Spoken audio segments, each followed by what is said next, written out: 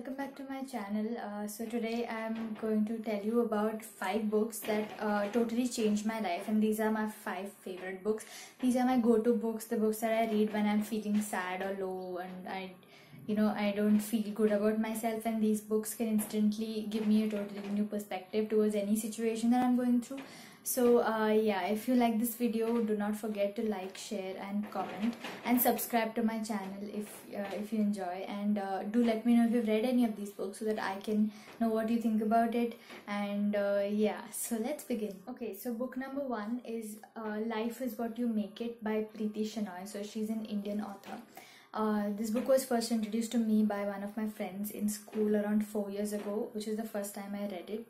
Um, so I remember the first time I read it, I just could not stop thinking about it. It is just so beautiful, this book. Uh, it got me thinking about deep questions like questions that I never thought about before, like you know what people go through on a daily basis, people especially people struggling with mental disorders. So this was the book that first got me introduced to the concept of mental disorders.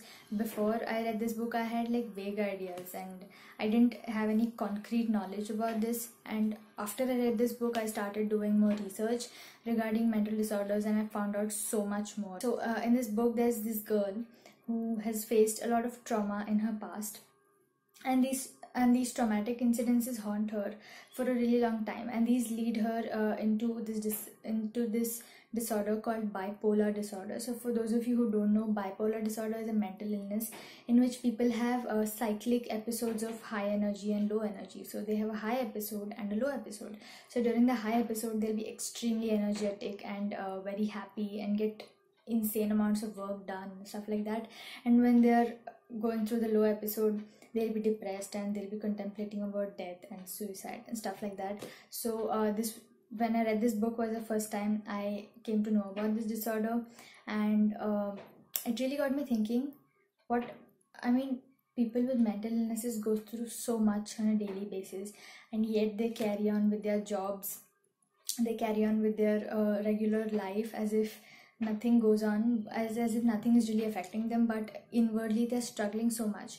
So this girl who uh, goes through this illness she uh, eventually gets out of it but that's only because she gets really she gets a lot of support from her friends family and her psychiatrist. So that this book just taught me to be kind to people you know uh, be kind be thoughtful. This book it taught me one important lesson that is to never give up no matter what i'm going through which is what this girl did. She went through such a big problem and she still got through it. Yeah i would definitely definitely recommend this book to anyone who is going through certain problems and doesn't know how to face them doesn't have the energy or the strength the willpower to get through them.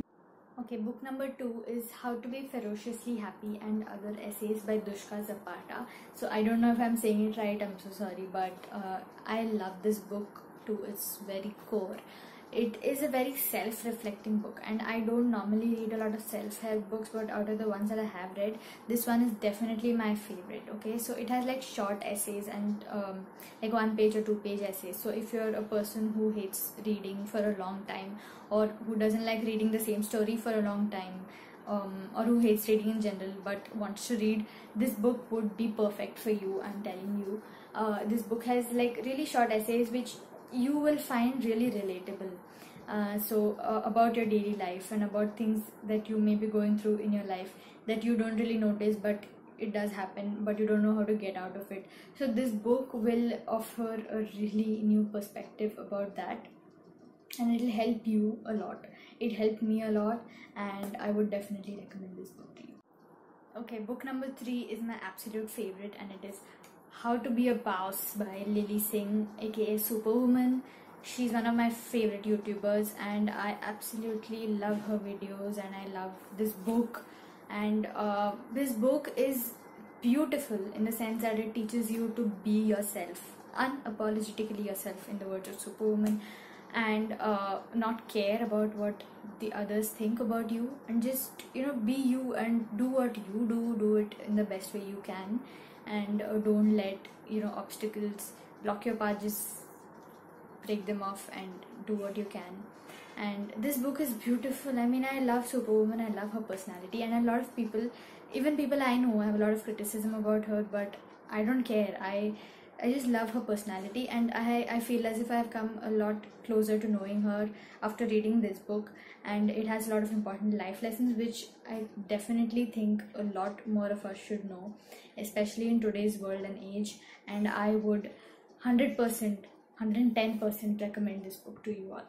And uh, Superwoman, if you're watching this, I totally love you. You are amazing, and you're such an inspiration. And yeah and if you have not watched her videos guys go check out her video. She's amazing.